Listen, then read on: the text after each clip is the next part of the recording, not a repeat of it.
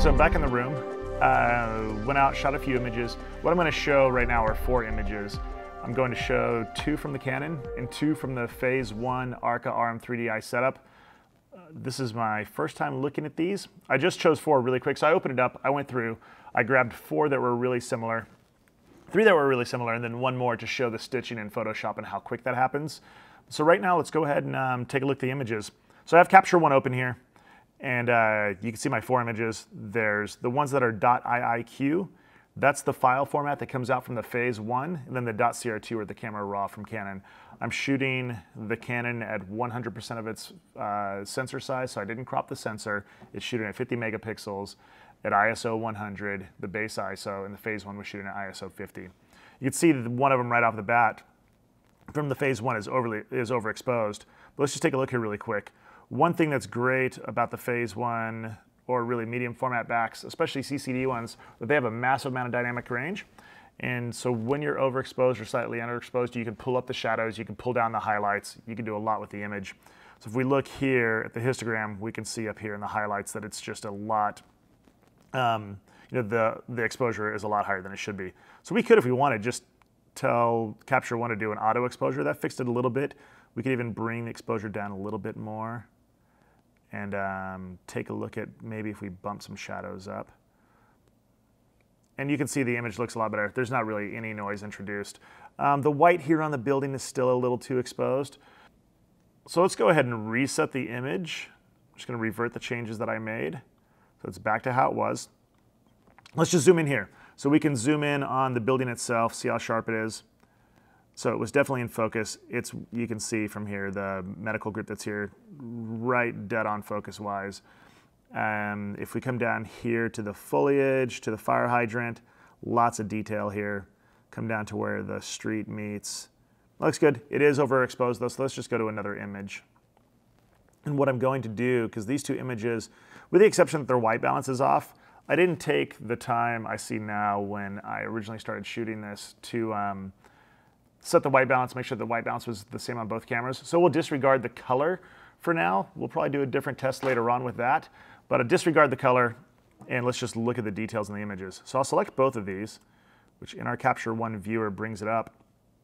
And you can see the first thing that you notice about the two images, besides color or whatever, is that they're different aspect ratios. So the medium format does have a different aspect ratio on the sensor than a DSLR does. But let's take a look here. Um, we'll start out with the Canon. So 50.6 megapixels, I was about 121 feet away from the corner of the building right here, the front corner, and um, about 121 feet, shot at f11. So let's take a look.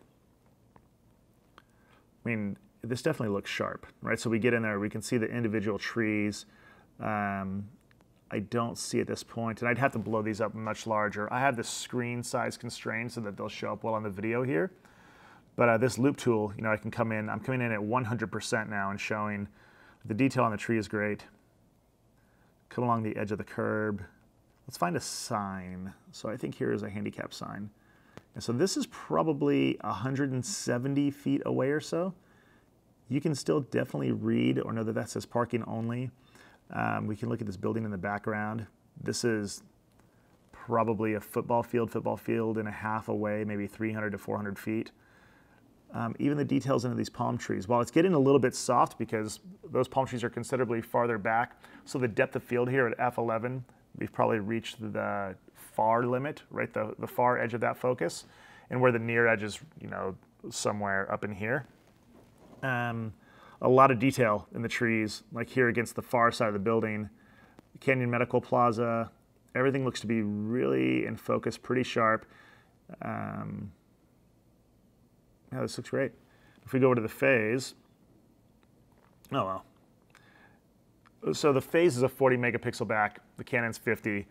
Um, I might have to play with the Canon more because I can see right off the bat. If we just look here at this medical group, the phase from the same distance, um, the phase does have arguably better glass. The sensor should be better. Um, the Rodenstock lens that's on that technical camera is amazing. So this looks good, like that's in focus, but this from the same distance, like that's just a whole nother category. You can really see the crisp edges, especially on the building here or this where it says allergy and asthma. Then let's look up into where the blinds are. Come over here. And that's a big difference. Now, one thing as well is I could move the Canon forward a little bit. The 24 millimeters isn't quite equal to the 40 millimeter Rodenstock. And you can see that because just besides the wider frame, I do have more of from the top of the building to the top of the frame and more from the bottom down here. So if I maybe scooted forward 20 feet or so, 15 to 20 feet, maybe 30 feet, we could probably get a little bit better comparison. So I might do that. But right off the back, I think that this is a bit sharper over here. If we look at, um, like let's go to the, yeah, like the sign there, like that's incredible. It is um, considerably sharper now. It is bigger. So I could scoot forward. Um, I think the Canon looks great, but yeah, I mean, look at the fire hydrant here with the leaves. So take a look at that fire hydrant and where you can see that it says, right here, looks like it says maybe Jones. And I don't think I can really see that. Not great, like the detail just isn't there on the Canon. Um, but that's really nitpicking, right? So most of the architecture photos that I take, I don't, I don't do large prints. I'm doing these for companies that are putting these into their annual reports. They're putting them into their sustainability reports. They're putting them on their websites. so the largest, largest that these are ever really printed at are maybe 11 by 17. If it's a you know dual side full bleed on the inside of a report, that's eight and a half by 11. You know letter size, it might be 11 by 17. Um, either one of these images are going to hold up really well. I mean the details on the Canon look good. Just the phase, I mean that definitely looks still looks better. And one interesting thing, let me see if I can find it in Capture One here. Is um, let's turn on the uh, focus peaking. So this green that pops up, this is similar to what popped up on the digital back. I can also show it in uh, Capture One. But what you can ascertain from this is if this tree here is in focus and this tree back here is in focus, everything in between is going to be in focus, whether it's highlighting it or not. And you can see that like these edges on here are super sharp. Like look at the twigs coming, just the individual pieces coming off this hedge. Let's find that on the Canon over here. Like they're there, but that's nowhere near what the phase has. If you look at the detail there, then look at the detail here. That's massively different. So I think one thing that I might do, if I'm just shooting a straight on image, is I'll take the uh, phase out on my Hasselblad body with just a 35 millimeter lens, not worried about shifting or anything, and take, take a picture and see how that stacks up. Um, this is, and I'll just say it, an unfair comparison between the technical camera that's $10,000 for the body and the lens, and then the back. So you take the body and the lens, that's 10 grand against a Canon 5 DSR the total is 35, $3,600. Pretty unfair. Um, this does maybe sway me to, you know, not look at my 5 DSR for, like my 5 DSR maybe for when I'm traveling or for um, architecture work where I don't have a lot of particular needs, like the multi-row stitching or um, something I have to be just super, super picky over. Um, like I said, an image like this would stand up. So let's turn that focus peaking off.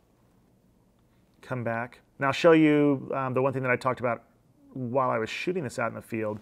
These two images are both from the Canon, and they're just shifted, right? So up here you have a lot more sky. Um, both images have the entire building. So while this isn't the best example, I will show you in Photoshop really quick how to um, well, not how to stitch these because you can just hit auto align and auto blend in Photoshop, but I will show you how these stack up to each other um, and how there's no geometric distortion or anything. So let's do that really quick. I'll open Photoshop here and just say open with Photoshop. It pops up Adobe Camera Raw because it is a raw image.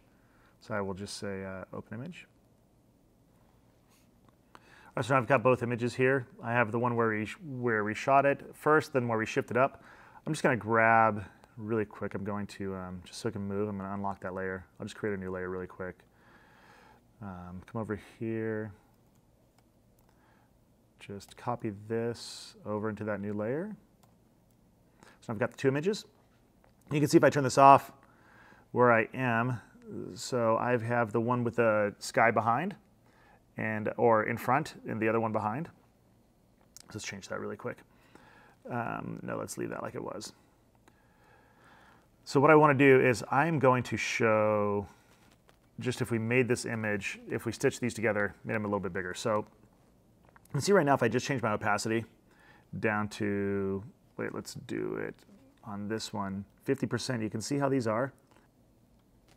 So now I've got my two images here. I can bring these together. Um, so let's do this. Let's look here. See how these line up? Really quickly, I can just select both though. Go over to Edit, and just say Auto Align Layers. And I just have to do Auto. It doesn't need to do any geometric distortion or vignette. There's not a vignette here. So click this. These two will line up, hopefully. And there we go. So now they've aligned. And if I, um, if I make this one that is uh, behind here, just bump its opacity up. You can see a little bit of a little bit of stuff here, but now I have that full sky. If I scroll down, I have that full parking lot, and that's a pretty big image now. So if, if we take this off, right, we were missing the sky here. So when I did that shift, I added that. You see how the top of the tree lines right up? It's, um, there's no lines or anything to fix here. So this just lines right up. And if we zoom in here, like there is nothing here to fix at all. It just lines right up. That's how quick and how nice and accurate when you're using shift on your lens it can be for, um, for merging two photos together. I think that, that looks great. Like I would, I would still crop this. I would come in here and you know, probably crop this out. So for this, I mean, the one image where I just have the parking lot and it's up higher and I'm getting more of it, that would have been fine, but I wanted to demonstrate what the shift was for. But uh, this is a great image um, overall. So, and you know, like, I mean, I'm being nitpicky when I talk about the sharpness here, because as we get in here, well, you can see some noise, but I mean, that's, we're in now at, that's at 400, 300%. So now we're in at 100%, right? And I move around, and there is good detail here. It's just uh, not quite as crisp as the Phase 1, but still perfectly acceptable, especially on a $3,500 camera. 50 megapixels, you can blow this up huge. So let's close this. I am going to open one more thing. I talked about before um, that I took this into the studio, did some headshots, and that they were really close, like between the Canon and the Phase. So I wasn't going to do it as part of this video, but I will really quick. I'm going to bring those up and um, show a few of these images. So this is someone that I had come into my studio recently, uh, Pia. Let's, she came in for a headshot session. Let's do a search really quick. I have rated a few of these. So let's just do it where the rating is equal or greater to a 3. Yep. Okay, so here's the phase 1 one. Now let's go in here and grab one of the ones from the Canon. We'll do one with a gray background as well. So let's just grab this one here.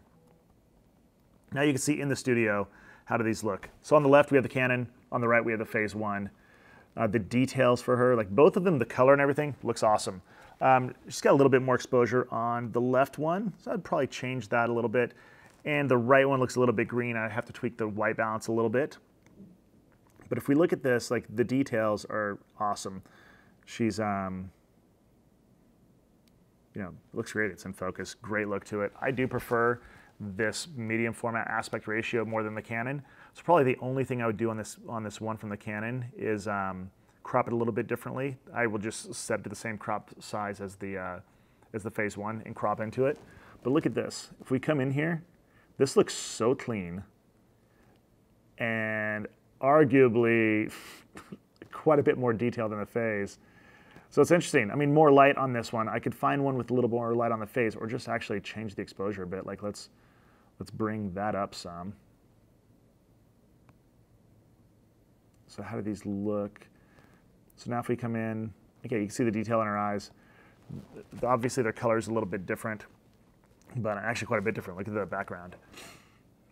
But uh, I had her in. I just switched between cameras, um, and I think the detail here, like this is a great looking shot. Um, the detail is insane. Like the little pieces of makeup, um, down to really individual pores, little, you know, just little uh, baby hairs. But that looks awesome. So I think the 5DSR in the studio shooting headshots, and I know that some people would say to use a 5DS. I like the extra sharpness. I haven't really seen anything with that's exhibited moire. Um, I'm sure that I will, but I haven't. But uh, this looks great. This looks I mean, absolutely awesome. I think it stands up every bit against the Phase One. This, um, so if I can figure out if the Canon can shoot just as well as my technical camera, then I would potentially look at just moving to the Canon um, exclusively. Yeah, but I love my medium format setup, so we'll have to see. So thanks for joining me and watching this video. Um, I really appreciate you taking the time. Hopefully you got a little bit out of this. If you have any questions or any ideas, something that you'd like me to try between these two cameras, more than happy to. I'm always open to suggestions. Um, sometimes people have way better ideas than I do, a lot of times. So any questions, comments, if you like the video, you got anything out of it, put me a comment below. I reply to all of them. Subscribe, share this out, and um, thanks for taking the time to join me. BillNichols.tv coming up soon. Until then, just the YouTube channel. But thanks for joining me. Look for new videos, trying to post about three a week. Really appreciate you taking the time to take a view. Thanks a lot.